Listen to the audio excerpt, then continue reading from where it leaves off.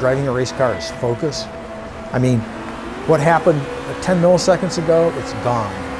You're going to focus on what's coming up.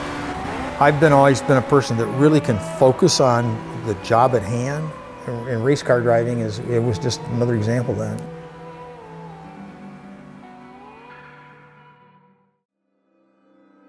David Cutler grew up playing sports in his hometown of DeWitt, Michigan, and was awarded a scholarship to Olivet College.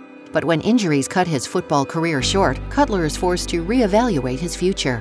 And so I'm really not sure what I really want to do, but I think I really like math and I like physics, and I'm a uh, hands-on kind of person that likes to build things, so I really think that I would like to have some kind of an engineering job somewhere.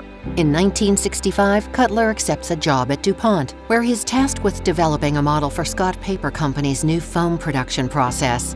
Cutler learns an event-driven, block-oriented language called GPSS3 and builds the model on an IBM 7044. Partway through the building of the model, I got really interested in, in more about how the computer worked than how the, the model worked.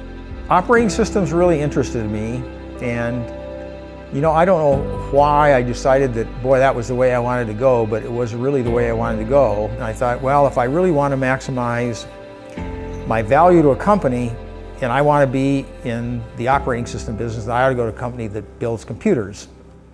So I arranged an interview with Digital in um, Massachusetts, and lo and behold, they hired me. So off to Digital I went. In 1971, Cutler is recruited to work on RSX 11, a series of real time operating systems for DEC's PDP 11 mini computer. He embarks on a two year project, leading an eight person team to deliver a faster, smaller, multi user system known as RSX 11M.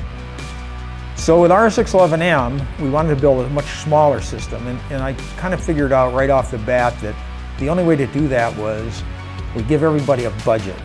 And so everybody had a budget about how much memory they could use. Generally, everybody met their budget.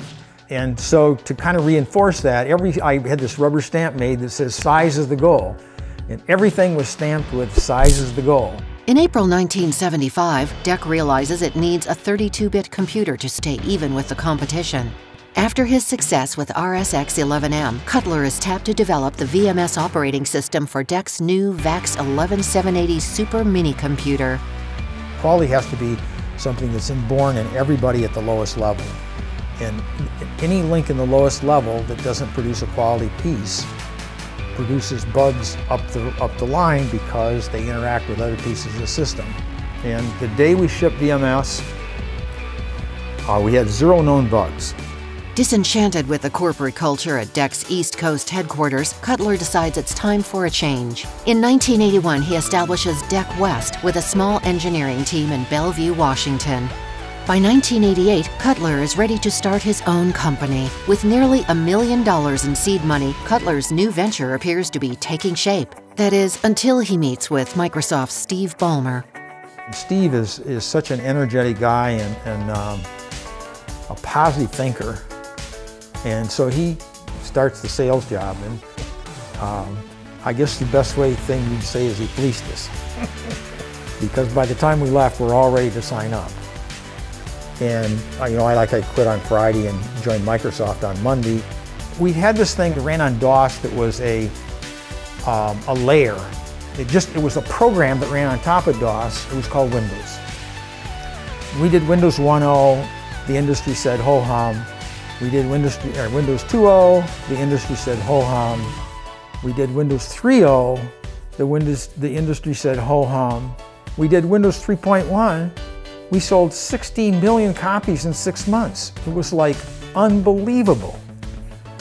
So Bill says, hmm, I guess our major, our main operating environment will not be OS2 anymore, it will be Windows. Windows NT has formed the basis for every major Windows-based operating system since 1993 and became the mainstay for all of Microsoft's subsequent Windows systems. Let me tell you, it's all NT. There is nothing that's not NT. Win, Win 10 is NT. It's all the same stuff. It's an evolution of the same code base going all the way back to 1988. a couple of us decided that we'd go work on the Xbox. And the irony of working on the Xbox is, is I once sent Steve Ballmer a piece of mail that said, Steve, I got an idea. Why don't we take that million dollars a week that we're losing on Xbox and take it out in the parking lot on Friday night and have a bonfire and roast hot dogs and, and marshmallows. We can take the people that were working on that and put them on things that'll really produce some good stuff and we'll save all that money. So here I am, some of year later, I'm over on the dark side. You can think of the Xbox as just virtualization, but it's really not because all this is the operating system, which we call Hydra. Because you actually can be running a game and viewing live TV at the same time or even Skyping and not having them interfere with each other. Everything that I've done throughout my career, um, I've always been a very hands-on person. Um, I can't just stand back and say, you know, this is what we're going to build. You guys go off and write the specs, um, and I'm going to manage you. I sort of become part of the team, and I look at myself as more of a leader than a manager. I have this little saying that the successful people of the world are the people that do the things that the unsuccessful ones won't.